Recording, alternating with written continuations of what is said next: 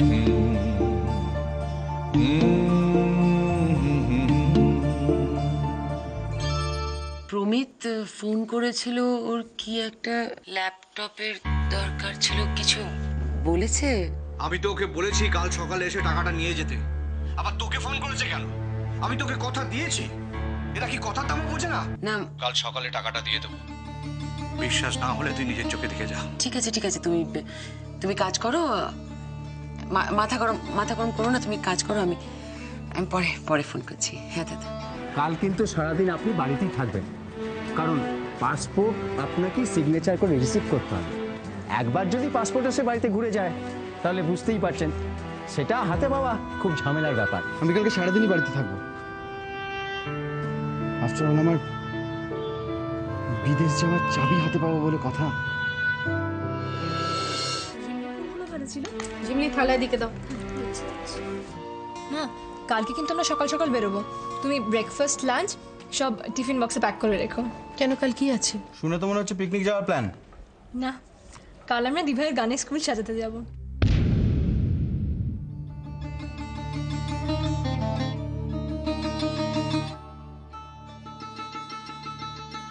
জানো তো বাবা আমার যে গানের স্কুলের ঘরটা তার একপাশে একটা বড় জানালা আছে আর সেই জানালা দিয়ে বাইরে তাকালে পরেশনাথের মন্দির দেখা যায়। আরে দাঁড়া আগে থেকে সব বলছিস কেন? বাবা মা গিয়ে নিজের চোখে দেখবে সব। আগে স্কুল ঘর সাজানো হোক সবার আগে তো বাবা মাকেই নিয়ে যাব। হ্যাঁ পুজোর দিনগুলো তো মা বাবা যাবেই। কি গো যাবে না? খুকু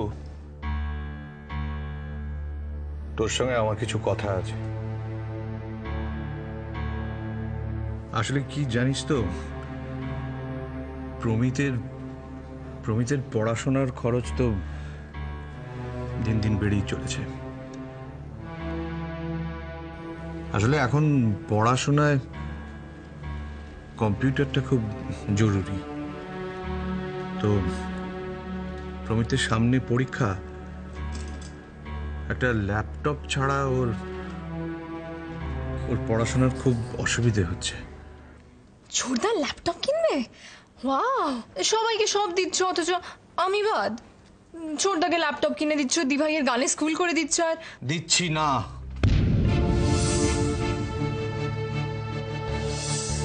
আমি খুকুকে গানে স্কুল করে দিচ্ছি না।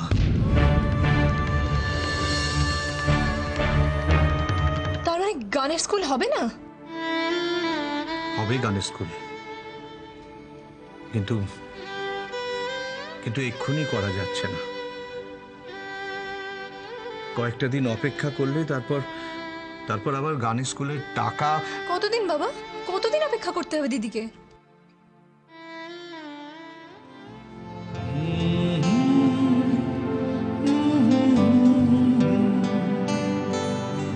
বাবা শুধু একটাই ব্যাপার জানো তো ওই বাড়ি ভাড়া অ্যাডভান্সের পাঁচ হাজার টাকাটা বোধ হয় আর ফেরত পাবো না।